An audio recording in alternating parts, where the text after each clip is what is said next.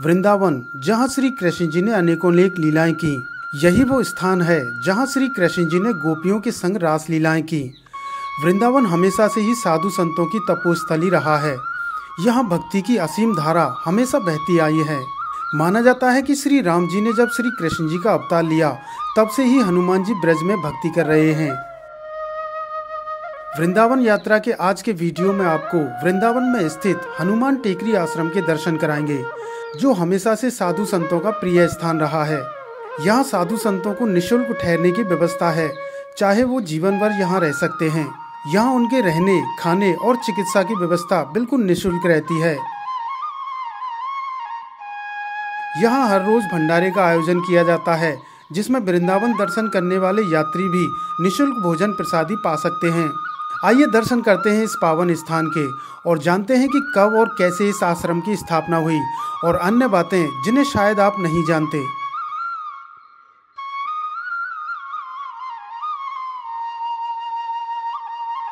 राधे राधे, आज हम फिर से आपको वृंदावन धाम में लेकर आए हैं और वृंदावन धाम में आपको एक ऐसे पावन स्थान के दर्शन कराएँगे जहाँ संतों का सबसे प्रिय स्थान माना जाता है वृंदावन के अंदर। संत हमेशा से यहाँ निवास करते हुए आए हैं और आज भी संतों का यहाँ स्वागत होता है और जो भी संत यहाँ कितने भी दिन रहना चाहे निःशुल्क यहाँ रह सकता है। ये जो स्थान है, ये है हनुमान टेकरी। तो मैं आपको बता दूँ कि ये जो स्थान है, वो कहाँ है? तो ये जो मार्ग है, ये है परिक्रमा मार्ग और इधर आप जाएँगे तो सीधा ही इस्कॉन मंदिर की तरफ़ जाएँगे और इधर की तरफ़ जब आप जाएँगे तो यहाँ से आप सीधे ही बांके बिहारी मंदिर की तरफ़ चले जाते हैं। और मंदिर के हनुमान टेकरी के बिल्कुल सामने है फोगला आश्रम। ये भी एक वृंदावन का प्रसिद्ध आश्रम है। तो आइए दर्शन करते हैं हम हनुमान जी के इस स्थान के, जो बहुत ही पावन स्थान है, बहुत ही आपको आनंद आने वाला है दर्शनों में। तो आइए आपको दर्शन करा आश्रम में प्रवेश करते ही मध्य में हनुमान जी का मंदिर है। जिनके नाम पर इस आश्रम का नाम पड़ा है हनुमान टेकरी। मंदिर में सामने दर्शन होते हैं श्री राम जानकी और लक्ष्मण जी के।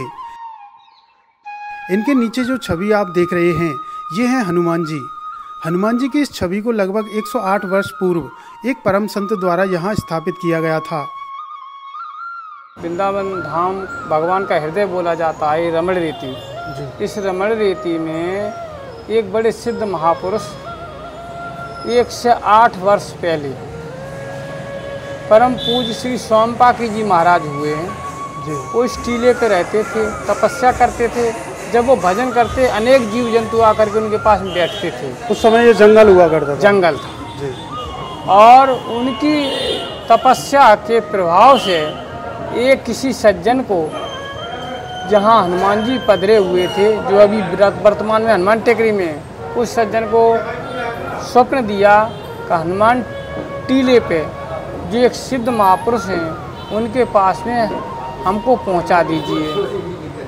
उन उनसे बोल देना हनुमान जी महाराज ने ऐसा कहा है। तो वो सज्जन लेकर के आए, महाराज जी को जैसा बताया, जैसा हनुमान जी महाराज ने बताया, वैसे उनको अवगत कराया। तो महाराज जी ने उनको दादा गुरु जी ने हनुमान जी को स्वीकार किया। जी। अब उनकी सेवा पूजा करने लगे और भजन करते हुए सेवा पूजा करते हुए पचास साठ वर्ष बाद उनके दो प्रिय शिष्य हुए एक महंत जी एक अधिकारी जी। एक बड़े गुरुभाई थे एक छोटे गुरुभाई एक परम पूज्य श्री रामचरण दास जी महाराज एक परम पूज्य श्री राम स्वरूप दास जी महाराज। इन दो आश्रमों इन दोनों गुरुभाइयों ने मिलकर के इस आश्रम का विस्तार किया। एक तपस्या करते थे एक गेहूँ मांग मांग के भक्तों के यहाँ से ले आते थे। जाते थे। और एक अनुष्ठान भजन करते रहे एक संत सेवा अपने हाथ से रसोई बनाना अपने हाथ से गौ सेवा करना अपने हाथ से ठाकुर सेवा करना। इन दोनों गुरु भाइयों ने राम स्वरूप दास जी एवं श्री रामचरण दास जी महाराज ने तप परिश्रम के द्वारा इस आश्रम का विस्तार किया। यहाँ की विशेषता ये है कि एक से आठ वर्ष हो चुके हैं हनुमान जी महाराज को विराजे हुए। इसीलिए इसका नाम हनुमान टेकरी आश्रम नाम पड़ा। सब जगह प्रसिद्ध हैं इसकी दो विशेषताएँ हैं।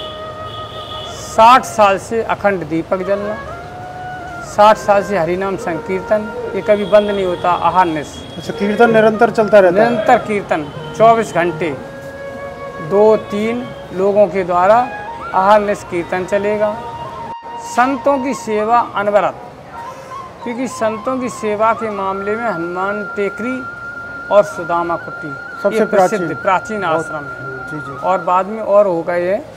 अभी महाराज जी यहाँ कितने संत निवास कर रहे हैं अभी अभी यहाँ वर्तमान में 80 80 और बढ़ते घटते रहते बढ़ते बढ़ते दो से तक पहुँच जाते हैं।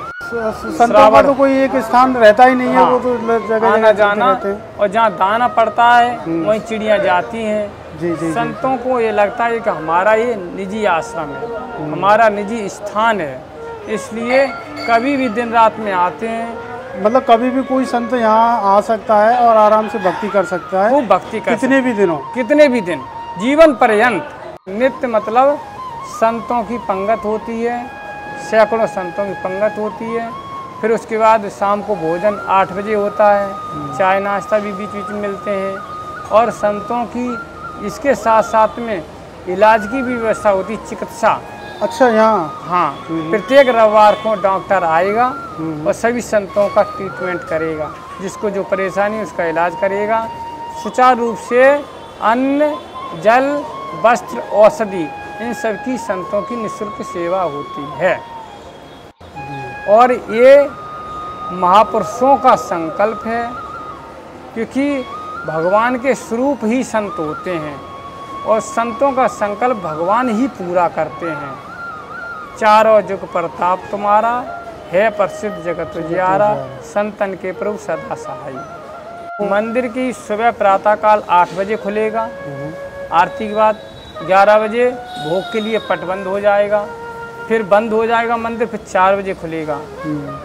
जैसे जैसे वृंदावन के अन्य मंदिरों की तरह शाम चार बजे? हाँ चार बजे। सभी वृंदावन धाम के कहते हैं अधिक से अधिक मंदिरों का ये नियम ही ये है नियम है। बारह बजे के पहले पट बंद हो जाएगा और चार बजे के बाद पट खुलेगा। खुलेगा। और शाम को आठ नौ बजे तक जैसा जिसकी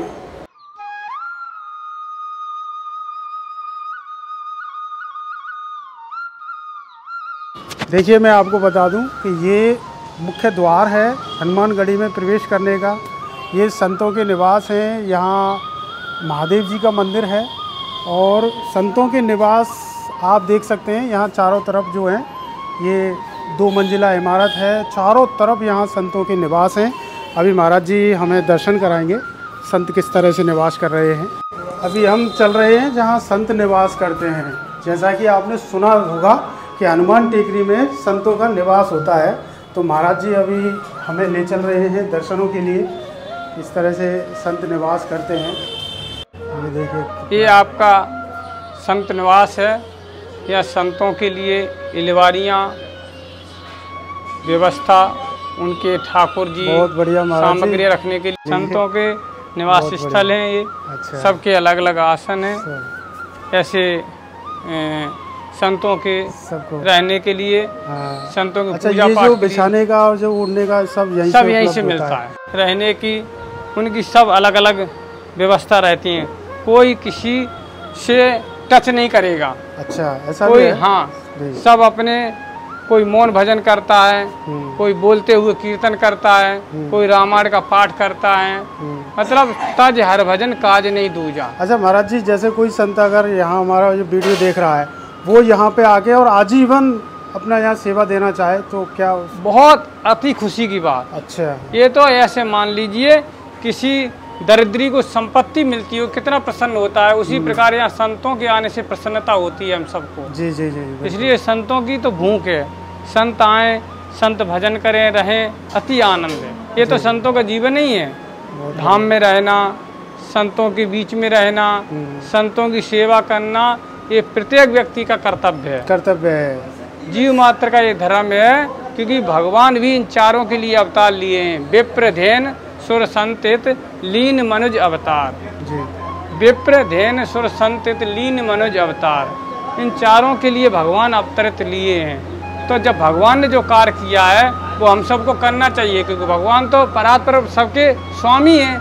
तो जो स्वामी ने काम किया है जो हमारे प्राण के प्राण जीवन के जीवन है उन्होंने कार्य किया है जो मर्यादा पुरुषोत्तम श्री राम जो हमने हम उन्होंने करके जो दिखाया वो हम सबको करना चाहिए। उन्होंने सनातन धर्म की रक्षा के लिए संतों की सेवा के लिए कितना कष्ट सहा। सही। तो हम सबका ही कर्तव्य बनता है जी, कि जी। संतों की सेवा के लिए ऐसा समय निकाल करके तन मन धन समर्पित करें।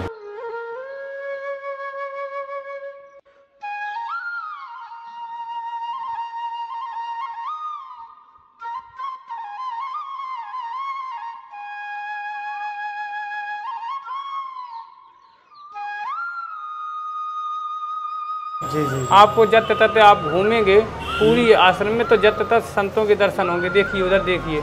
बड़े बड़े जटा वाले बड़े बड़े उत्तराखंड के संत आते हैं दक्षिण भारत से भी आते हैं महाराष्ट्र सौराष्ट्र सब जगह से आते हैं संत। संत सभी के छत पे दिखाई देंगे संत। आपको ऊपर नीचे उतरते हुए जहाँ तहाँ घुसते हुए बैठते हुए शयन करते हुए सब जगह संतों का है। विरक्त संत। कोई गृहस्थी वाले नहीं। अच्छा। बचपन से जो बचपन से जो ऐसी शास्त्र में लिखा है कब बालापन से हर भजें जगते रहे तो उदास। तीरथ सब आशा करें, कब आवे हरिदास। ऐसे संत बचपन से, कोई पाँच साल से, कोई दस साल से, कोई पंद्रह साल से बचपन के साधु बने हुए हैं। बचपन से ही घर को त्याग दिए हैं। उनको कोई मोह ममता नहीं है। सिर्फ़ प्रसाद पाना, भजन करना, दो ही उनके कार हैं। इस मंदिर के परिसर के सामने ये आपकी गौशाला है। और बड़े चाव से यहाँ महात्मा लोग ही सेवा करते हैं और ये हमारे आचार्यों ने ही इस सेवा का नियम निकाला है। गौ सेवा संत सेवा सनातन धर्म में आता है क्योंकि भगवान भी कृष्ण रूप में आकर के गौ सेवा किए हैं। आइए इधर अभी यहाँ धुलाई कर दिया है सफ़ाई बहुत के बारे कितनी सुंदर यहाँ व्यवस्था देखने को मिल रही है। जल भी ये और ये ये चारे की व्यवस्था है गायों के लिए और जल बगल में अच्छा। बीच में जल दोनों तरफ़ भोजन। अच्छा।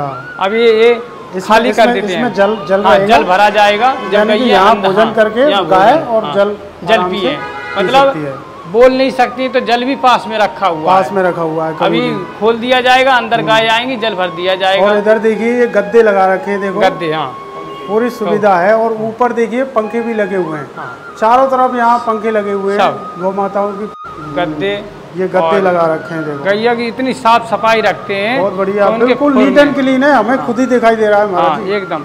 क्योंकि उनके खुर में यदि गंदगी रहेगी तो कीड़े पड़ने का चांस रहता है। हम्म। इसलिए गैया के लिए गैया उतनी ही हमको प्रिय है जैसे हमारा शरीर। क्योंकि भगवान ने जो किया है वो हम सबको करना यही भक्ति के और भक्त के लक्षण हैं। एक विप्र मात्र- ध्ययन सुरसंत लीन मनोज अवतार। हम्म। भगवान परम ब्रह्म परमात्मा मनुष्य में अवतार लेकर के गौ सेवा कैसे करना चाहिए? व्यक्ति मात्र को वो सब सिखाया है। साधु सेवा कैसे करना चाहिए? ये सब सिखाया है। सकल मुनि के आश्रम ने जाए जाए सुख दीन। राम जी सभी मुनियों के आश्रमों में गए। सबसे हालचाल पूछा, सबकी विपत्तियों का नाश किया, सबको सुख दिया, सबसे कथा सुनी, सबको कथा सुनाई।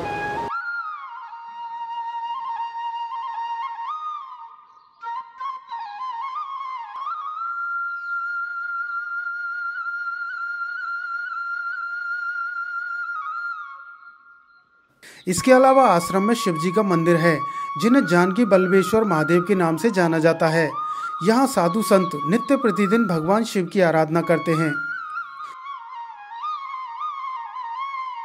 यहाँ हमें साधु संतों के साथ भंडारा प्रसादी पाने का अवसर मिला। अगर आप वृंदावन आते हैं तो हनुमान जी के इस देवालय के दर्शन अवश्य कीजिएगा। मिलते हैं ब्रिज यात्रा के अगले वीडियो में। जय श्री राधे कृष्णा।